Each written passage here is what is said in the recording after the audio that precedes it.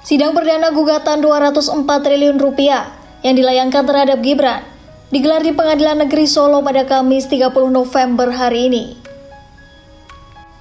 Sidang gugatan itu dilayangkan oleh alumnus UNS Aryono Lestari pada Gibran terkait batas usia Capres-Cawapres. Tak hanya Gibran, Aryono juga menggugat Almas Takibiru yang menjadi pemohon uji materi Undang-Undang Pemilu mengenai batas usia Capres-Cawapres. Menanggapi hal ini, Gibran Raka Buming Raka terlihat santai dan menyatakan kalau hal tersebut sudah ada yang mengurus.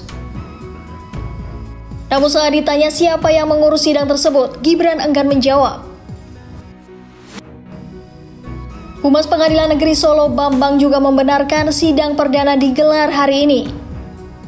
Sebelumnya, Aryono melalui kuasa hukumnya tim giliran berantakan atau Gibran mengajukan gugatan kepada Gibran dan Almas. Almas sendiri dinilai mempermainkan forum uji material. Pasalnya Almas sempat mencabut permohonan, lalu menarik lagi pencabutan permohonan tersebut. Almas juga diduga memalsukan identitasnya dengan mengaku sebagai mahasiswa Universitas Negeri Surakarta. Lalu untuk Gibran, Aryono menilai pencalonan Gibran sebagai cawapres dengan dasar putusan yang sangat kontroversial. Menurutnya, pencalonan tersebut dinilai merugikan hak-hak sipil warga Indonesia